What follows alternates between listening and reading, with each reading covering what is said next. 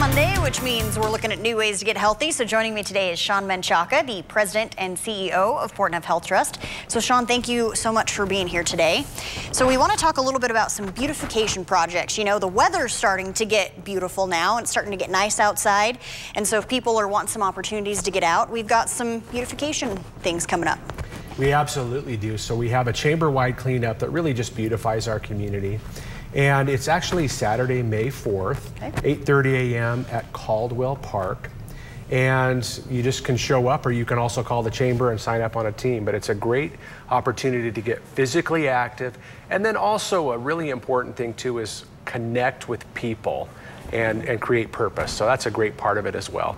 Okay, and is it you know, for adults that it's geared towards? Can it be a family event? You know, bring the whole family, come on out, jobs for everybody? We love actually having a family. I've done this for many years, and oftentimes I'd show up with my little boy and my wife, and I'd be out with 70 or 80 year olds. Mm -hmm. So I think it's great to have families come. We actually need more of that. We need youth, and we need people that don't have connection and haven't been active to come join us. And I think that's a great opportunity to do something like that. Okay. You mentioned they're, you know, meeting at Caldwell Park. Is that going to be the focus area for the beautification, or there some other areas that we're going to kind of target to clean up as well? Yeah, it's actually all over the community, but okay. you can get your assignment at Caldwell Park. The Chiefs uh, will make breakfast, pancakes, sausage. They'll give you a pair of gloves and assign you somewhere. Or if you have a particular area that you want to clean up, they'll also let you do it that way as well. So great opportunities. So a delicious breakfast as well, and then you get a chance to kind of work off that big breakfast. Yeah, absolutely, that's a great way to look at that, right? Okay, perfect. And then just, you know, talk a little bit about why it's so important for Healthy City USA to be involved in beautification projects like this.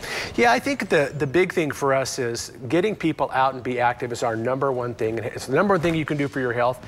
But again, the other piece is it's pretty hard to feel depressed and, and kind of gloomy if you're out helping somewhere else. I promise you, when you volunteer for something something like this, you'll get a lot more out of it than you put into it.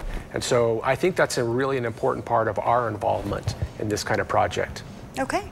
And any other information or details that you'd like the community members to know? Yeah, I think just for, the, again, show up at 8.30, Caldwell Park, May 4th, get some breakfast, get your gloves, and get assigned to a, a little job. It'll make you feel good and it'll create great connections in our town. Okay, all right. Shaun, thank you so much. We appreciate you being here with us today.